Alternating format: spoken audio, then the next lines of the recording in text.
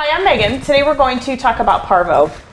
Uh, this is a little 15 week old puppy, and he started having some diarrhea and started vomiting at home, and so he was brought in here. It's important to note that he did have three sets of his puppy vaccines before he got sick, uh, but he was playing with other puppies, and so until they complete their whole series of vaccines, um, the incidence of parvo is still very possible.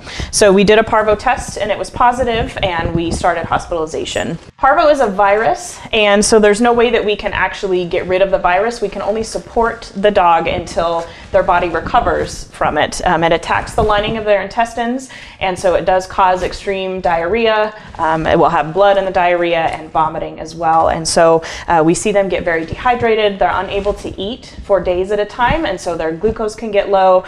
Um, with the vomiting and diarrhea, we can see electrolyte abnormalities, and so um, some of these guys are pretty intensive cases.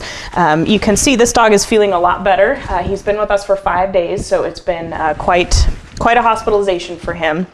With these patients, we are concerned about their um, white blood cell count. Uh, the virus will knock that out, and so their white blood cell count is often very low, so they're susceptible to secondary infections. Um, we're very concerned with their protein levels, so we're checking albumin often with them.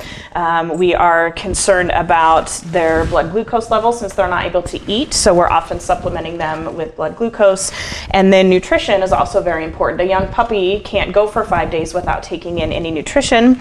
So with this dog, we have placed an NE tube and we have been feeding him um, with a liquid diet. It is ideal if you can feed those uh, little enterocytes and you know give those cells in the gut some nutrition. And so if they are no longer vomiting, it's great to be able to place a feeding tube so we can feed them that way.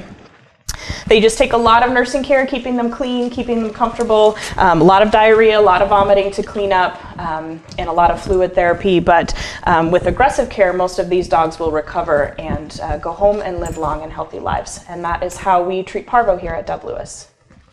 One veterinary website with everything you need. Check it out on atdove.org.